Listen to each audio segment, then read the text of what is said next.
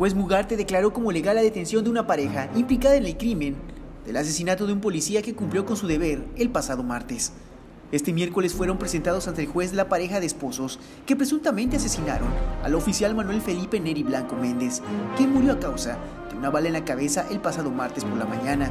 Según se dijo en audiencia, la pareja de esposos le habría disparado por desesperación.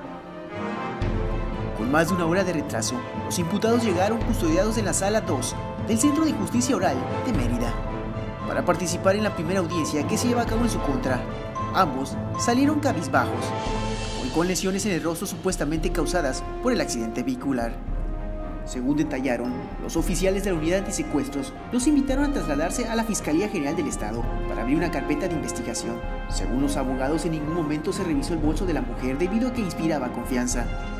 Se encontraba en calidad de víctima, por lo que procedieron a subirlos en su vehículo. De acuerdo con la declaración de la imputada, su esposo se puso nervioso cuando perdió la vista al otro vehículo oficial que iba adelante y en donde se encontraban sus hijos. En ese momento su cónyuge le pidió las pastillas que se encontraban en su bolso, por lo que ella entendió el mensaje.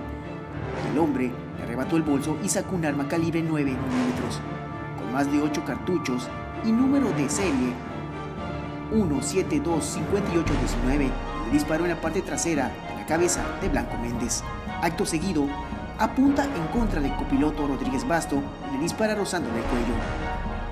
Por otra parte, los abogados defensores no presentaron pruebas que comprueben la inocencia de la pareja acusada, mientras que los familiares de la víctima estuvieron en modo de presentes, escuchando con atención las versiones de los hechos. Cabe mencionar que el próximo martes 20 de noviembre llevará a cabo la audiencia de imputación a proceso. Información al momento reportando para Eclipse Noticias, Wilber Chávez. Eclipse, televisión digital.